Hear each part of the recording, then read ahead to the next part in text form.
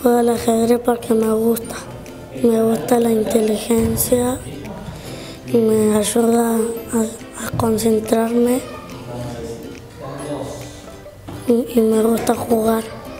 Porque yo antes no sabía jugar y mi primo me enseñó lo enroque, cómo se movían las piezas, el caballo iba en él y todo eso.